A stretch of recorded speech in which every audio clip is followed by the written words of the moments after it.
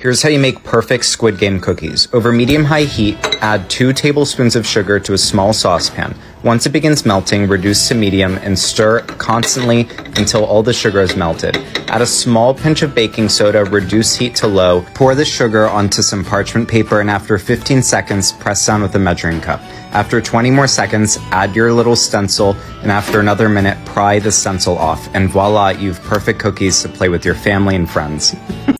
to make the honeycomb cookie on Squid Game. Add about 3 to 4 tablespoons of sugar in a non-stick pan and heat on medium. Mix until the sugar melts into a deep amber color.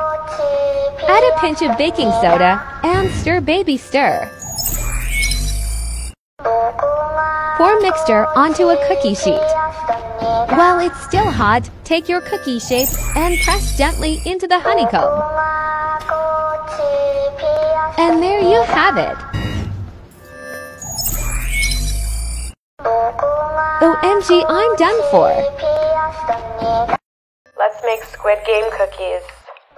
First, you're to melt your sugar on medium heat. Keep mixing it while it melts. And once it's fully liquefied, turn your heat on low. Add the smallest bit of baking soda and mix it and dump it on some wax paper. And then let it sit for about 15 seconds, and then you could use a cookie cutter or whatever shape you'd like. I'm doing a circle with a shot glass.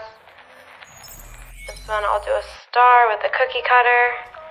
Just gently press in, and that is how you do it. And people were saying it ruins your pan. It does not. You just rinse it under hot water for a minute. And it cleans off and they peel right off the wax paper.